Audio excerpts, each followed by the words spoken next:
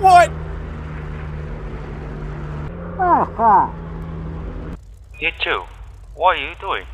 Are you waiting for me? So tomorrow morning I take off from TF-51 aircraft. You guys want to see my air show? Yeah! Alright, see you tomorrow.